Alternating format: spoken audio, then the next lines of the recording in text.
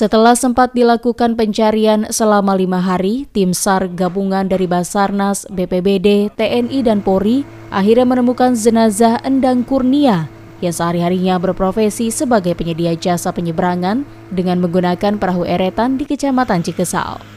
Musibah yang menimpa Endang Kurnia diketahui terjadi pada Jumat pekan lalu. Saat kejadian, Endang diketahui sedang menyeberangkan dua penumpang. Diduga akibat arus sungai Ciujung yang deras, perahu eretan milik Endang terbalik. Dua penumpang berhasil selamat, namun Endang hanyut terbawa arus sungai. Jasad Endang Kurnia ditemukan di wilayah Kecamatan Carenang atau berjarak sekitar 21 km dari tempat kejadian. Setelah dievakuasi, tim Basarnas langsung membawa jasad korban ke rumah sakit dan diserahkan ke pihak keluarga. Selain melakukan pencarian dengan menggunakan perahu karet, tim SAR gabungan juga melakukan penyisiran di tepi sungai. Korban telah berhasil diketemukan ya, dalam keadaan uh, meninggal dunia kurang lebih sekitar 21 km dari LKP.